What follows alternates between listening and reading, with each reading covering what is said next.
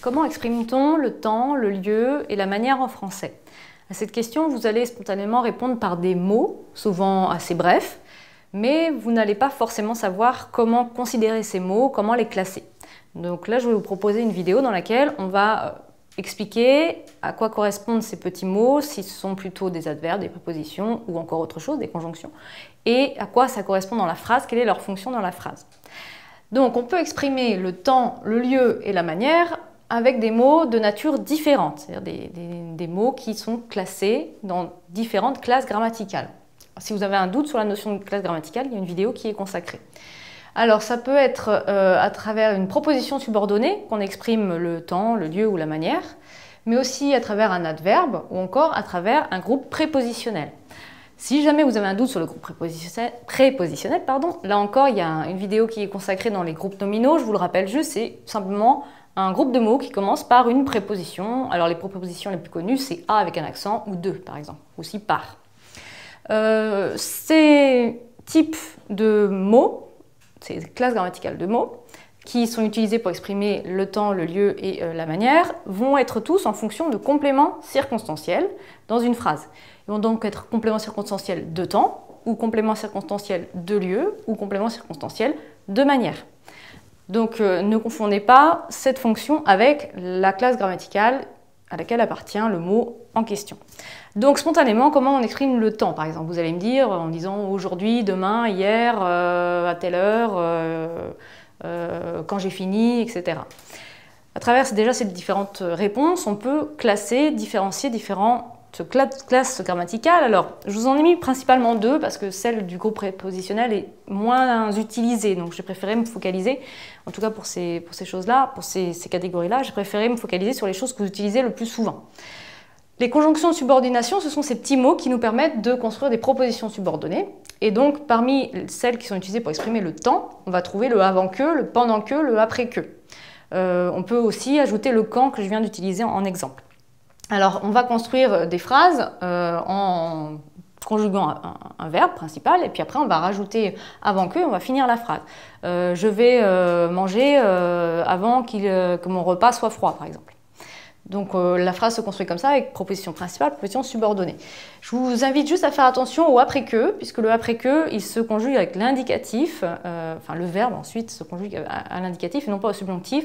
On va dire euh, je vais venir après que j'ai mangé et pas après que j'ai AIE mangé. Alors là ça s'entend pas trop parce que c'est du, des temps composés, mais si on met de l'être, le verbe être, je vais manger après que je suis sorti et pas je vais manger après que je soit sorti.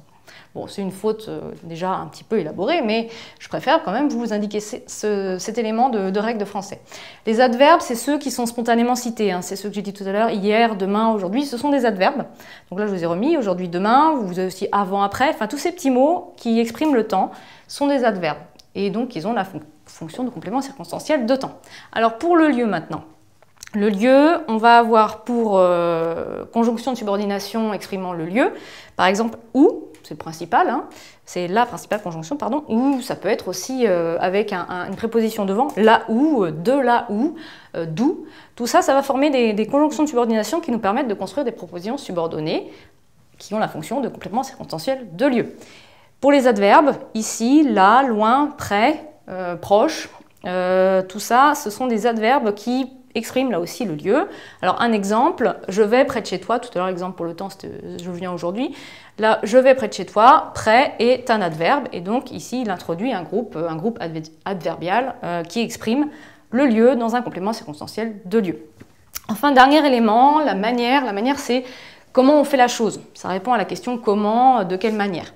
Alors, pour euh, les conjonctions de subordination qui permettent de construire un complément circonstanciel de manière, on va avoir sans que, par exemple. Euh, je suis venu sans que, euh, sans qu'il y ait de problème, on va dire.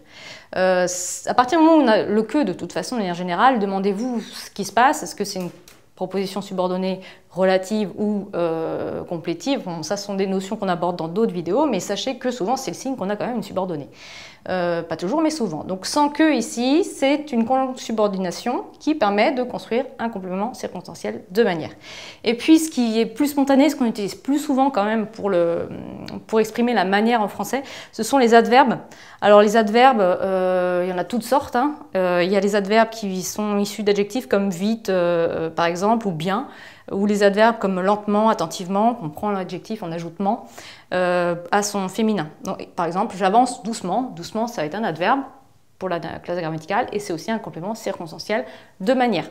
On a aussi le avec par exemple qui peut être utilisé, donc on trouve pas mal de, prépositions comme ça qui forment des groupes prépositionnels pour le, la manière, l'expression de la manière. Alors là je vous en ai mis deux, je me pousse, de façon, de manière, on pourrait presque rajouter le fameux en mode qu'on utilise maintenant beaucoup, euh, qui est aussi un complément circonstanciel de manière euh, à travers un groupe prépositionnel. Voilà, donc maintenant vous avez quelques clés pour comprendre ce qu'est l'expression de la manière, du lieu et du temps.